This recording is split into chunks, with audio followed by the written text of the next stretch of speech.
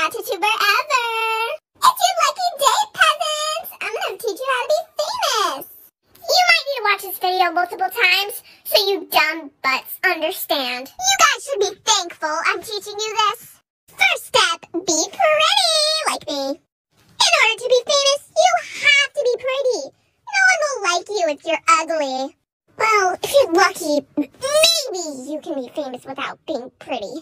Step two, have a bunch of friends. I speak from I have 100,000 friends. They're just not in the videos because they're like too busy or whatever. Having friends in your videos will increase the amount of money you get. Step three, be amazing like me. That will be hard to achieve. There are these things called role models. I should be yours. But don't copy me.